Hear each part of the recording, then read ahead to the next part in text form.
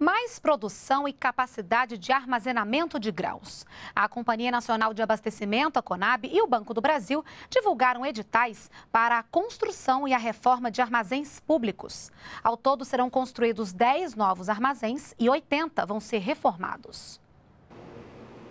Essa é a unidade armazenadora da Companhia Nacional de Abastecimento, a Conab de Goiânia, com capacidade para armazenar 7 mil toneladas de grãos.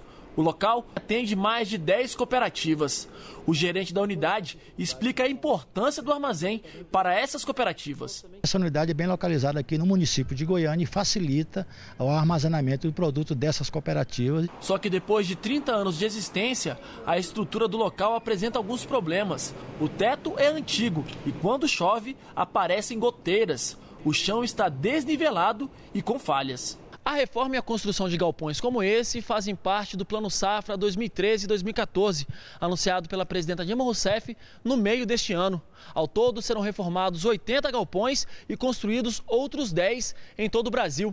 O investimento total no programa chega a 500 milhões de reais até 2015.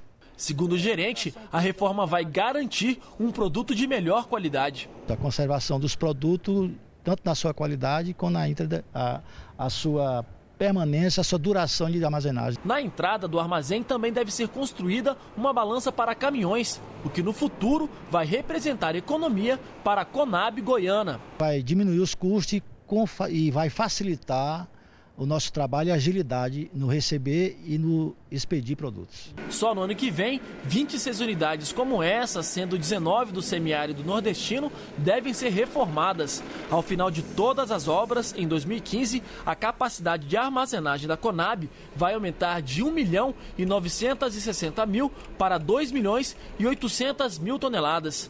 A ideia é facilitar o transporte dessa carga. Todas as unidades que nós vamos construir elas estarão obedecendo à nova sistemática da logística brasileira.